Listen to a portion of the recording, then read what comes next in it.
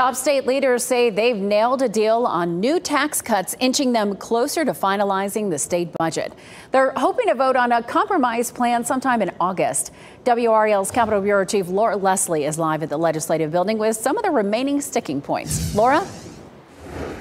Deb, you know, the budget was due July 1st, but legislative leaders have been deadlocked over proposed tax cuts and some other issues. Excuse me. Today, House Speaker Tim Moore and Senate Leader Phil Berger said they have reached a deal on those proposed tax cuts, uh, but they wouldn't give us any details on that. We'll find out, I guess, in a couple of weeks. But in the meantime, there's still a lot of other differences to be worked out.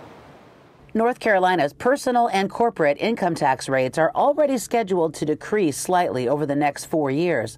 Senate leaders wanted to speed up that process and cut taxes even further, but House leaders worried the cuts might be too deep and could leave the state in a financial bind.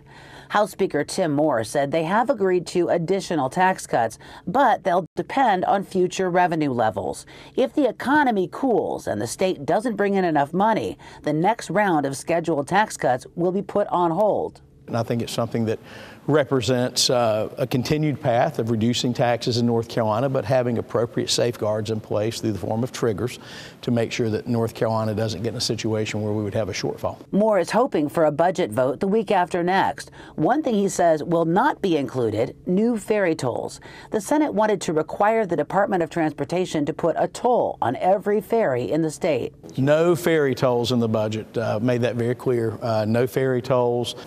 Really? Senate leader Phil Berger did not agree with some of the things Moore told reporters, and he was less optimistic about how soon they'll be ready to vote. Really isn't the the, the differences between the House and the Senate. It's just the sheer number of things we've got to work our way through. One of those issues is gambling, casino, and video lottery gaming. Berger and Moore haven't yet decided whether those will be in the budget. Now, once they complete this deal, they still have to send it to Democratic Governor Roy Cooper for his signature. Uh, Berger said today that they have not been consulting with the governor as they've been going through this process. So, a potential veto and a potential veto override could add yet a couple more weeks onto this already delayed budget. Deb? Still going. Yeah. Laura Leslie live for us in Raleigh. Thank you, Laura.